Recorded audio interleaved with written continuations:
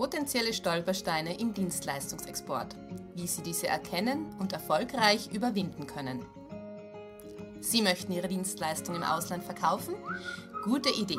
Damit Ihnen dieses Vorhaben gelingt, möchten wir Ihnen zeigen, welche Stolpersteine Sie am Weg zum Exporterfolg behindern können und wie Sie diese erfolgreich überwinden.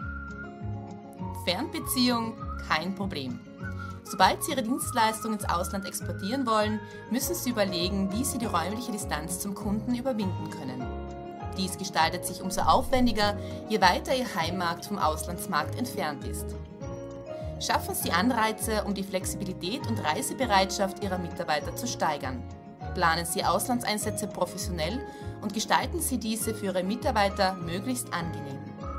Unterstützen Sie die Mitarbeiter, die ins Ausland entsendet werden zum Beispiel mit Handbüchern oder der Möglichkeit zum Erfahrungsaustausch mit Kollegen, die bereits einige Zeit im Ausland verbracht haben.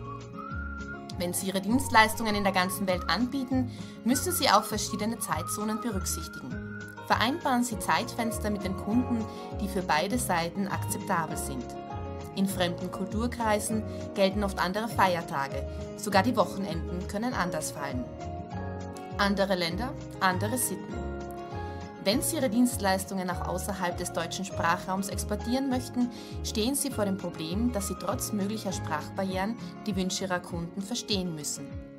Englischkenntnisse sind für den Start ins Auslandgeschäft unumgänglich. Weitere Fremdsprachen sind von Vorteil sowohl für die Geschäftsanbahnung als auch für die spätere Zusammenarbeit mit Kunden und Partnern, gerade bei Dienstleistungen, die individuell auf die Bedürfnisse der Kunden im Ausland angepasst werden müssen. Wenn Sie die Landessprache beherrschen, verschaffen Sie sich einen zusätzlichen Pluspunkt und genießen so einen Vertrauensvorschuss beim Kunden. Trotz ausreichender Fremdsprachenkenntnisse kann es passieren, dass Ihre Kunden missverstehen. Je weiter der Zielmarkt vom Heimmarkt entfernt ist, umso eher müssen Sie mit kulturellen Unterschieden rechnen. In Bezug auf das Nutzungsverhalten der Kunden oder auch die Art und Weise, wie Geschäfte im Ausland abgewickelt werden. Hierbei kann es hilfreich sein, den Markt im Vorfeld eingehend zu analysieren.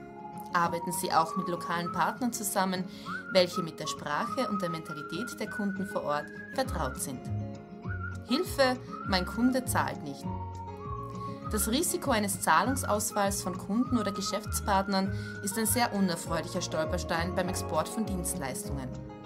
Generell sollten bei Eintritt in einen neuen Auslandsmarkt die dort üblichen Liefer- und Zahlungsbedingungen überprüft werden, da sich diese oft vom Heimatland unterscheiden können.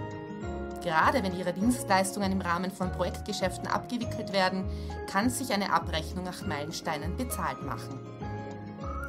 Prüfen Sie Kunden im Ausland eingehend auf ihre Bonität, um die Wahrscheinlichkeit eines Zahlungsausfalls zu minimieren. Bei Neukunden empfiehlt sich eine Zahlung per Vorauskasse, man kann es ja zumindest versuchen, auch wenn das oft schwierig umzusetzen ist. Paragraphendschungel. Bei grenzüberschreitenden Dienstleistungen ergeben sich auch einige steuerliche Herausforderungen. Welches Steuerrecht kommt zur Anwendung? In welchem Land erfolgt eine Besteuerung? Welches Recht kommt bei der Mitarbeiterentsendung zum Tragen? Aufgrund der Vielzahl an zu beachtenden rechtlichen Regelungen empfiehlt es sich, mit den ausländischen Vertretungsbehörden in Österreich sowie den lokalen Außenwirtschaftszentren der WKO frühzeitig Kontakt aufzunehmen. Für die korrekte Abwicklung im Zielland sollten Sie sich einen Steuerberater suchen, der über steuerrechtliche Kenntnisse sowohl im Heimmarkt als auch im Zielmarkt verfügt. Kurz zusammengefasst empfiehlt es sich vor dem Internationalisierungsschritt genauestens über den Zielmarkt zu informieren. Welche Sprache sollte ich beherrschen und welche kulturellen Unterschiede könnten Probleme bereiten? Wie weit ist der Zielmarkt von mir entfernt und wie kann ich meine Mitarbeiter zu Flexibilität und Reisebereitschaft motivieren? Gibt es Unterschiede im Zahlungsverhalten der Kunden? Welche rechtlichen Aspekte sollte ich berücksichtigen?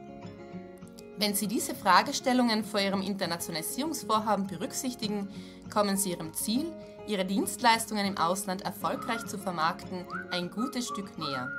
In diesem Sinne wünschen wir Ihnen viel Erfolg bei Ihren Auslandsgeschäften.